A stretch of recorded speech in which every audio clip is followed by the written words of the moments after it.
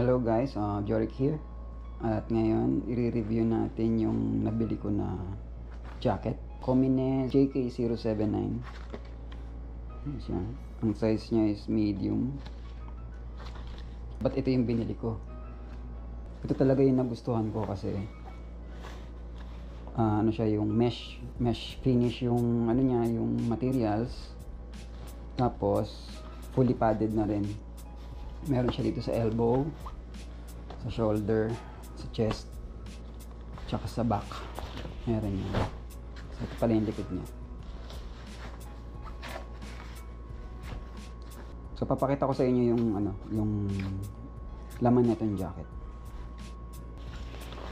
Okay. so sa loob meron siyang lining na waterproof. Parang ito yung pinaka raincoat mo in case na umulan.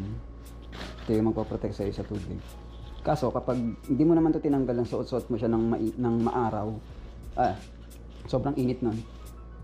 So much better na tanggalin na lang tong ah, inner lining kung hindi naman maulan. Tapos baunin mo na lang siya tupiin mo na lang. So pagtanggal nito meron siyang zipper dito sa side.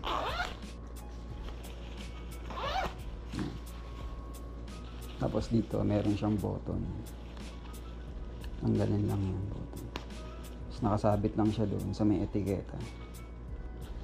Tanggalin lang siya. Tapos dito sa kabilang sleeve,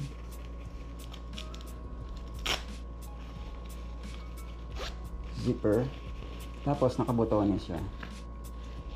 So, color coded din. Merong side na red button, tapos red din yung ribbon. Yan. Red to red. Tapos black to black. Para hindi magkabaliktad yung kabit. O para hindi matwist yung kapote sa loob ng sleeve niya. Medyo ano lang eh, medyo masikip lang siya. Yan. Masyado masikip yung hiwa ng garter. Yan. Ganito din sa kabilang side.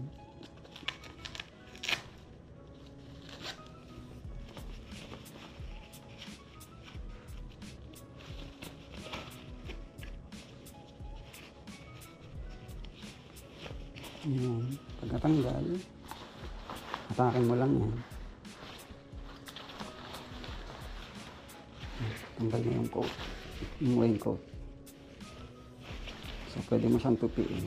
Tapos, tago mo na lang. Ipit mo na lang somewhere sa motor mo. Kung may GB box ka, o kung meron kang malaking U-box, o ibulsa mo dito. Meron naman siya mga bulsa eh. Yan ang loob niya. So, mapapansin nyo, mesh. Para siyang yung nilalagay na cover sa mga upuan ng motorcycle natin. Para lumulusot yung hangin. Na ano, na presko yung pakiramdam mo. So, ito yung mga paddings niya.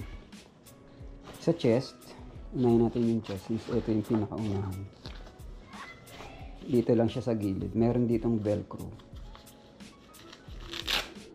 Yan. Tapos tatanggalin mo lang ito. Ito yung sa left or yung sa right. Ito yung sa left.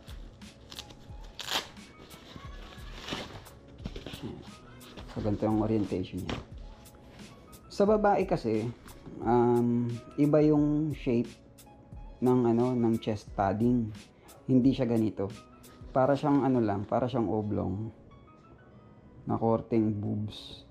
Kasi nung sinukat ni Mrs. Tapos sinara niya yung zipper sa harap. Sabi niya parang masakit daw sa dibdib or matigas kasi nga hindi sukat to sa contour ng ano chest ng babae. Kaya kung bibili kayo para sa misis nyo, make sure na pang babae yung bibilihin nyo na jacket. So, ito yung sa on chest. Dito naman sa shoulder, meron ding padding. Dito, may makikita ka dyan. Ayan. Ito yung padding. So, ganun din. Meron din siyang velcro. Dito sa may bandang ah, kilikili. Ayan. Tatanggalin mo siya. Ayan. Nakasulat dito.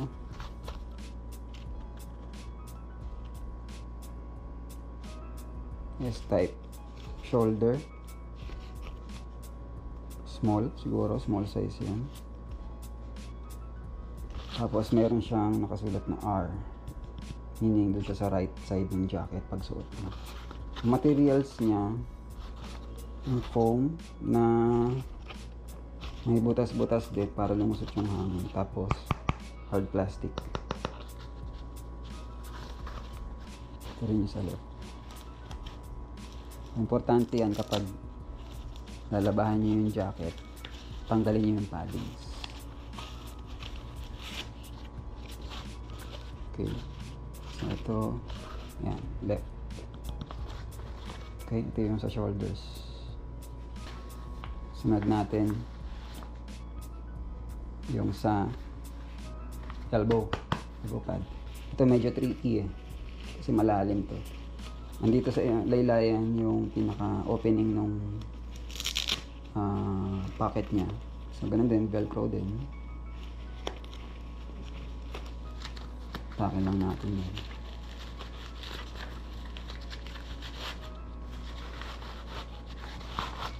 Yan.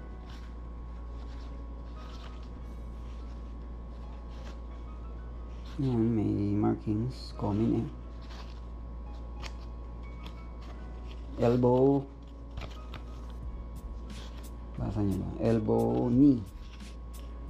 So, pwede rin siguro to yung, kung meron kayo ng common na pants, pwede rin siya doon. Since elbow tsaka knee yung nakalagay dito. Yan.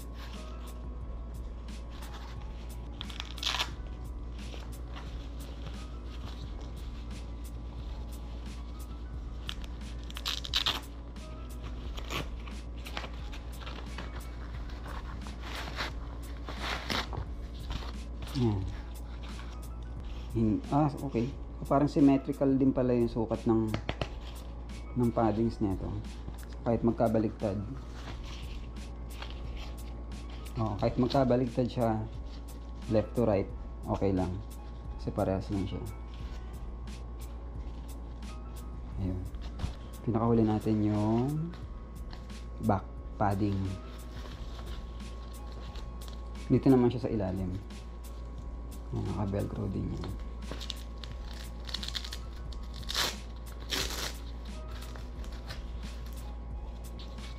Ito lang medyo, iba kasi sukat ng padding nito. Ah, kung titignan nyo, mas malapad yung part na to kaysa dito sa butas. Kaya mas maganda dyan, i-bend mo muna yung ano, i-bend mo muna yung padding pag hahatake mo siya or ipapasok mo siya. Pag ibabalik mo na, para magkasya siya dito sa opening. Ayan o, siguro gato eh. Bebend mo siyang ganyan. Hawakan mo, bend. Saka mo siya hatakin palabas. Ayan. Ito yung padding niya sa likod. Ano siya? Uh, foam. Ayan. Lambot naman. Mas. Pero sa loob, parang meron siyang parang may matigas na plastic sa loob. Siguro yun ang pinaka reinforcement niya para hindi mapilas. Kasi yung ganitong klaseng foam, pipilas to. eh. Parang may plastic siyang embedded sa loob. Yan, so tanggal na lahat ng paddings. Yan, pag tinignan niyo yung mesh. Oh, makita niya. Yan, pag tinignan niyo yung mesh, see-through yan. Lalo tayong ano. Yan. Ang kung kita nyo, pero see-through yan. Yan. Kaya lulusot yung hangin. Kaya tinawag siya na ano, airstream. Yan. Kasi lulusot yung hangin. Sa shoulders. Yan, malapit sa may kilikili. Dito sa likod. Tsaka sa chest. Tsaka yung gusto ko sa jacket kasi na meron siyang abang. Para sa neck brace. Ito, itong dalawa na to. Ayan. Meron siyang abang sa neck brace. Ito yun. Ito yung number ng neck brace. Nung kinuha ko kasi to, ah, set na kasama na yung neck brace. Ayan. Tapos merong zipper dito. Para pagkabitan ng neck brace. Ayan. Ito yung neck brace. Pwede siyang bilhin optional. Pwede ring set na. Kaya medyo napamahal ako dito eh. Kasi sabi, kung ilales ko yung kung ilales ko to, parang less 500 pesos lang ata daw. Tapos, pag bibili ka na ng optional, mas mahal na to para mga nasa 800 na ang isa. 800 to 1K daw. Kaya, kinuha ko na siya as set. Ngayon, sa mga nagtatanong kung paano malalaman yung original, ako na nagsasabi sa inyo, alam ko hindi to original. Kasi, ah, hindi ko alam kung totoo yun. May nagsabi kasi sa mga nag-comment sa isang ah, how to spot yung genuine versus fake. Na lahat naman daw ng comment is original. Kasi halos pare, pare, parehas na parehas yung materials na ginamit. Hindi ko lang alam sa stitching. Kasi wala pa akong nakitang ganitong original na nakadisplay sa ano sa Moto World na napuntahan ko. Kaya hindi ko makompare. Pero halos lahat parehas. Tsaka naalala ko yung original parang sabi nung isang nag-review. Meron siyang kasamang additional na botones. Parang nandito kasama siya sa mga label. In case na may eto, mga ganito, masira. Yung papalitan mo siya. Eto wala. Tapos, ah, ito yung sticker. Ito yung parang pinaka-security sticker. Which is, dapat daw meron lalabas na okay la- na label dito sa ano, sa sticker, security sticker. Pero, sa itsura pa lang ng sticker kasi alam ko fake ni. Kasi masyado siyang makintab. Ayan, patay ko yung masyado siyang makintab. Ah, yung sa Moto World kasi nakita ko, pati yung mga gloves nila, yung pagka-sticker nung Comin eh, hindi siya kulay palara. Parang ano siya, mapusyaw na gray. Tapos, ito yung camera, pag tinignan mo yung sa camera, kung naka-video.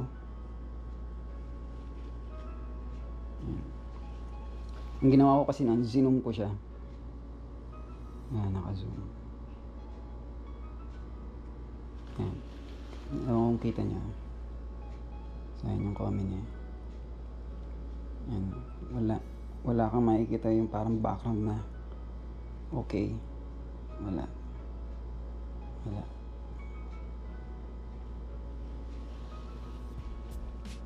So, ayun. Unang tingin pa lang eh, kasi masyadong matingkad yung pagka-print ng mga green, yellow, blue. Yung sa Moto World, hindi ganyan. Hindi ganyan yung pagka-print niya. Pero nonetheless, maganda naman yung quality.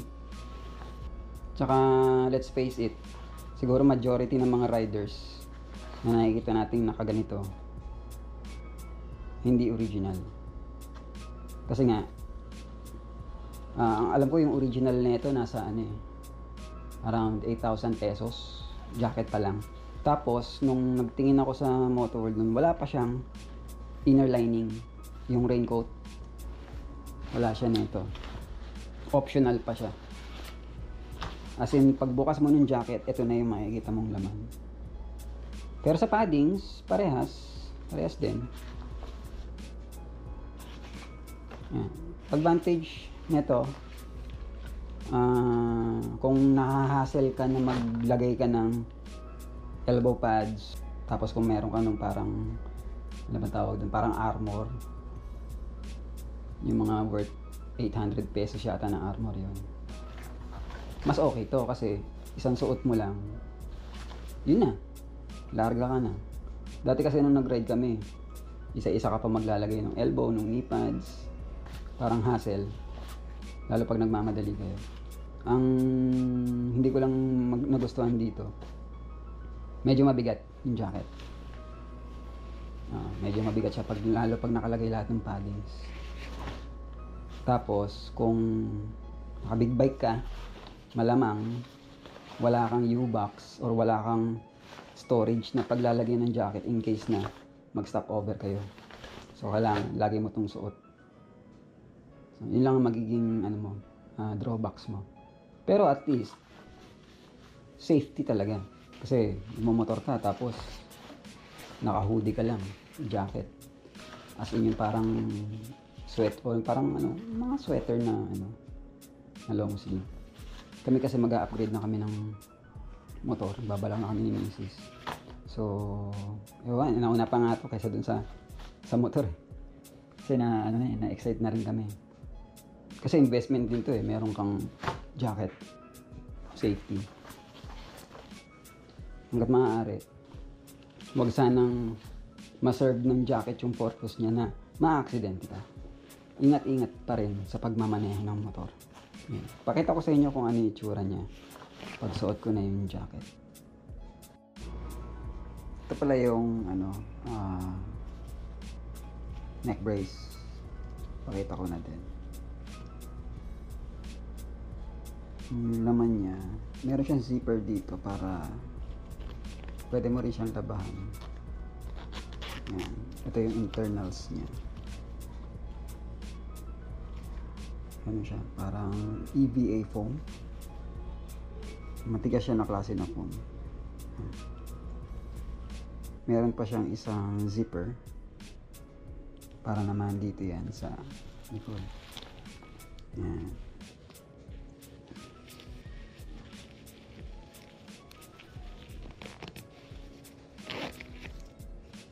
Okay. Yun lang. Then, ito, itong dalawang strap na velcro. Ito yan, sa may laylayan. Yan, Dito mo siya isa sabit.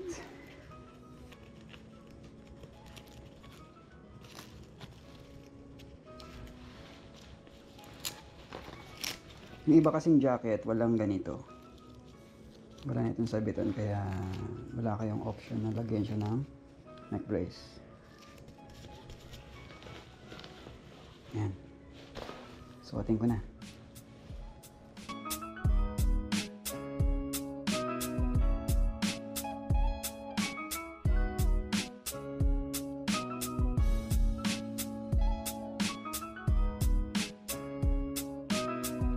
So, ito siya. Kung medyo maluwag sa inyo yung sleeve, meron siyang buttons para pwede siyang higpitan. Pero sa akin, sakto siya. Kasi talagang sukat sa akin.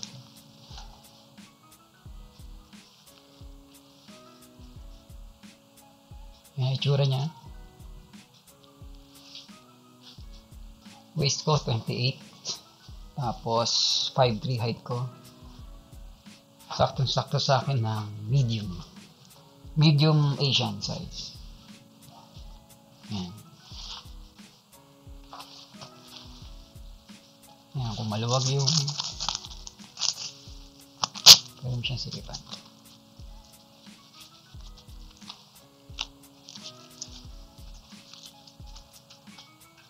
Pag nabagok ka, yung helmet, pag gumanon, yung neck brace ang sasalo. So, hindi ka mababalikan ng leg. So, dagdag protection na rin. Siguro kung bibili kayo sa online, sa Shopee marami, tsaka sa Lazada. Alam ko yung ganito nasa around 3,700 hanggang 4K. Pero wala pa siyang neck brace. Depende na lang yung sa seller kung meron siyang optional na items like that. Para sa akin good deal na to kahit medyo mahal. Kasi nakuha ko siya ng mabilisan. Kasi nandun na siya eh. Hindi na ako maghihintay. Tsaka sakto din kasi pag kinuha ko yung motor, meron akong jacket. Yan, ganda. So, masaya. Kasi, nabili ko rin yung gusto kong jacket after 2 years. So, ayun guys, thank you for watching my vlog. Sana nagustuhan nyo. Uh, for the upcoming video, siguro, pag nakuha ko na yung bagong motor. Okay. Thank you.